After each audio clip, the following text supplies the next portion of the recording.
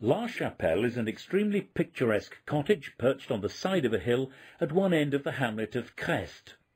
The house is more than 200 years old and has been renovated sympathetically and still retains a strong feeling of antiquity.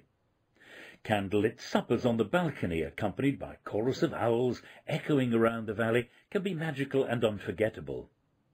From here you can walk all day in every direction and possibly not see another person, quite incredible in this day and age. The hill overlooks the Lot Valley, and there are paths meandering down to the riverside. The lower entrance has a staircase up to an open-plan living area with new comfy settee and chairs, log-burning stove and UK TV and DVD player, a dining table and chairs, and a fitted kitchen with fridge and cooker alongside. A French window leads onto the balcony with magnificent views.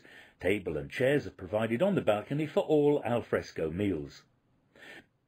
Upstairs there are two bedrooms, one a double bedroom leading to a second bedroom with twin beds. The very private pool has a terrace with tables and chairs and of course sunbeds.